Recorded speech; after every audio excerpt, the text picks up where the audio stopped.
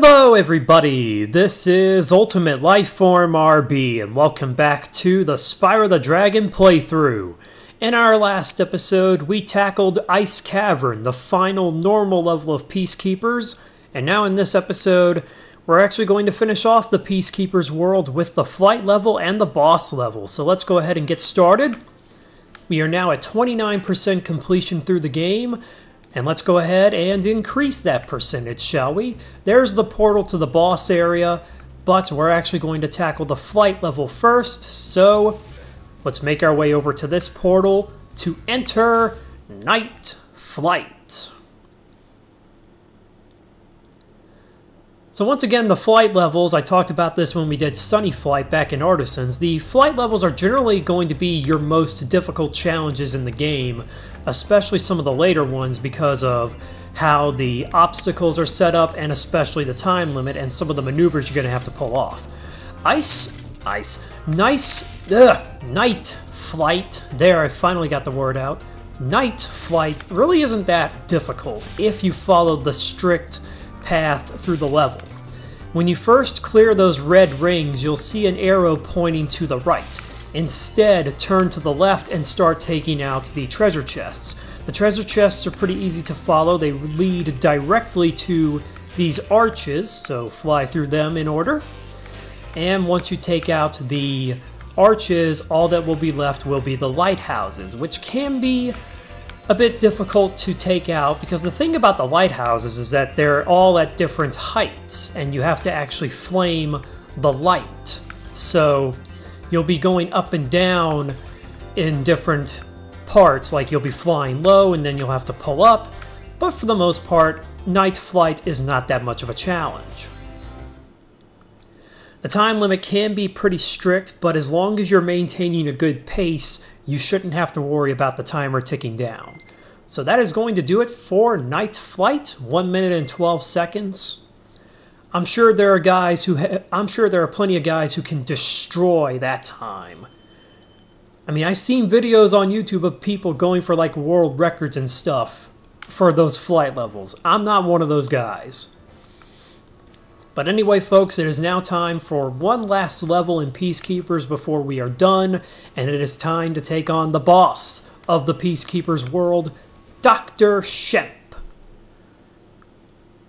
Doctor, doctor, give me the news. Although I'm not sure if I want uh, Dr. Shemp being my medical professional. I'd love to know what doctorate he has, because it clearly isn't in medicine, as we will soon see. Anyway, this level starts off pretty interesting. We have the Fat Norks from Clifftown, but now they've got new minions. These guys, these warrior guys, what they'll do is they'll be slapped by the Fat norks and they will charge at you. You can either take it, you can either take the warriors out by charging at them, or you can actually sidestep them and dodge them, and eventually they will run themselves off the cliff. It is actually pretty amusing to see them run off the cliff. So let's see, he's going to run right past me. To his death, and so did his buddy go. And they make a pretty amusing uh, sound when they're running. Like they just they just come at you shrieking. Well, maybe not shrieking, but they come at you screaming like a banshee. I mean, they're a pretty amusing enemy. Just don't let them hit you because they will damage you just like any other enemy. Also, when you get to this area, be ready to be ready to defend yourself going through that opening because a warrior will come right around that corner. He will catch you off guard if you're unprepared. I remember he caught me off guard the very first time I went through this stage.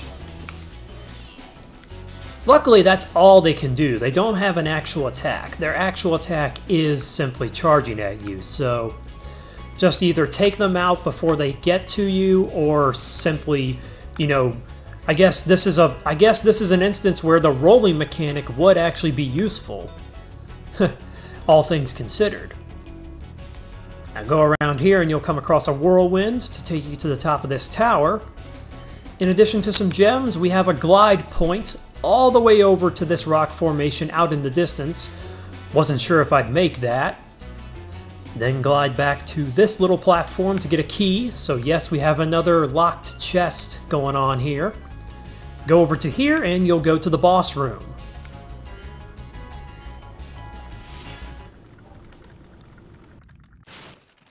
Guy thinks he's so cool.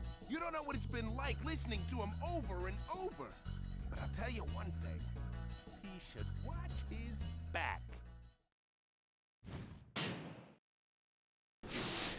That's actually going to be a clue as to how we can actually damage this boss. There's Dr. Shemp right up there, but we're not going to tackle him just yet because we have this little pathway. There's this one fat Nork just sitting on this platform. Gotta take her out in order to get the gems. And now, after that little detour, let's make our way back to the Whirlwind. And now we're going to take on Dr. Shemp for real.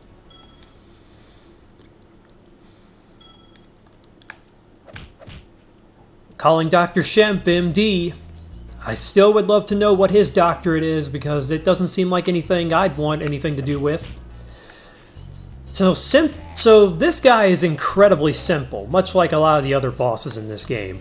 What Dr. Shemp's going to do is, he's going to do a different attack each phase, and the idea is dodge the attack. After you dodge the attack, he will turn his back to you, and you have to flame his back. The attack varies depending on what phase he's on. So the first phase, he'll try to pound the ground. In that, in the second phase, he actually tried to spin around. He'll also try to spin around here, but you'll actually want to jump over the staff and then flame him.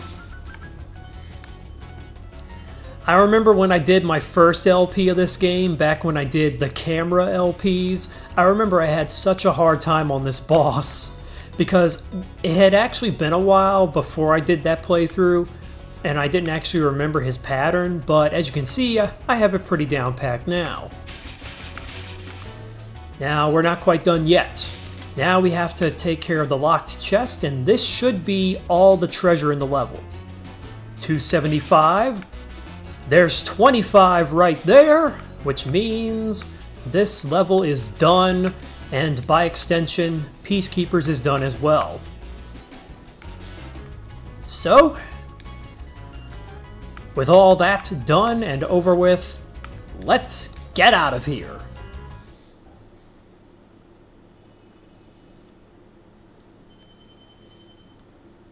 Three thousand treasure, and that's going to do it. And with Dr. Shemp defeated, Peacekeepers is done all three normal levels, the boss level and the flight level, which gives us 3,000 treasure, 5 dragon eggs, 32 dragons for 32% completion of the game, which means all that's left to do now is talk to the balloonist to make our way to the next world. However, you're going to have to wait until the next episode for that because we are stopping here. That is a wrap on this episode of the Spyro the Dragon playthrough. If you folks liked what you saw in this video, be sure to like, leave a comment, and tell me what you think. This is Ultimate Lifeform RB signing out for now. I will see all of you in the next episode.